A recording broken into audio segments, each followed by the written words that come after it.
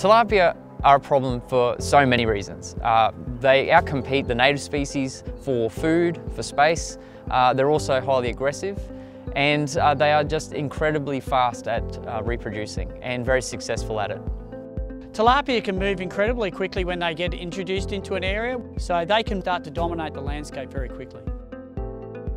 So tilapia like the environments in the, the lower Fitzroy because there's lots of predator-free nursery areas that they can have their babies in. There's lots of uh, habitat and lots of food, um, so they're a, a prime environment where they can start to dominate.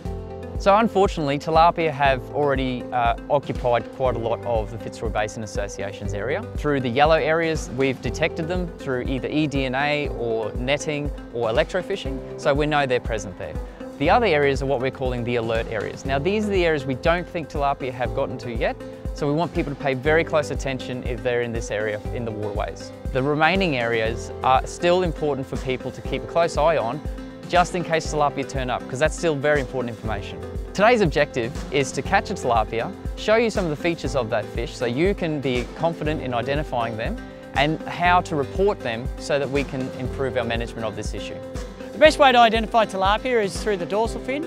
The dorsal fin on a tilapia is a single uh, fin, whereas all of our native fish have a double fin. The uh, dorsal fin on the tilapia also has a pointed end, whereas most of our native fish are rounded, uh, and so that's usually the way you can tell the difference. With juvenile fish, the spot on the dorsal fin is a dead giveaway. None of our native fish have a spot on their dorsal fin, but the uh, tilapia has a small spot surrounded by a white uh, edge on the uh, back end of their dorsal fin. So in Queensland, uh, the law is very clear. Tilapia can't be used for anything, uh, for bait or for eating, nothing like that. All that you can do if you do catch one is to humanely dispose of them by uh, burying them above any tidal influence areas or up to the high bank around 50 metres away from the waterway. Today we're going to catch a real tilapia and show you how you can use the features of the fish to identify it positively. And what we're really hoping is that this is going to allow uh, the whole of central Queensland to learn about tilapia, how to identify it and how to report when they do find one. Yeah, so we've just conducted some electrofishing in the shallows uh, where we've collected a, a bunch of uh, native fish as well as some juvenile tilapia. So down in the bucket here, what we have is the juvenile tilapia and even at this size they're still quite distinctive.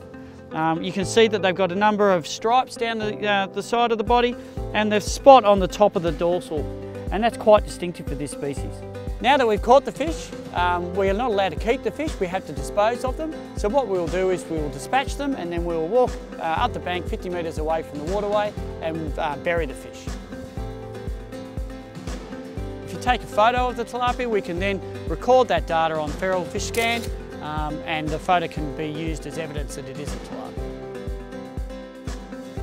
If you're caught in possession of tilapia, uh, whether that be a fillet or a whole fish or even juveniles for bait at all, uh, it will attract substantial fines up to $60,000. So reporting where the tilapia are seen will give us uh, an idea of where their strongholds are, what, what habitats they're preferring, and then that will give us the opportunity to potentially put projects into the future that will help to reduce their tilapia numbers. By enhancing habitat for native fish and by improving water quality, we can maximise the number of native fish that there are in the waterway and that will keep the tilapia numbers under control.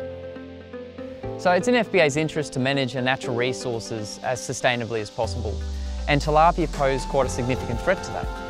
Because of their uh, interaction within our waterways, they actually are reducing the ecosystem services those waterways can provide us, as well as further downstream, including the Great Barrier Reef.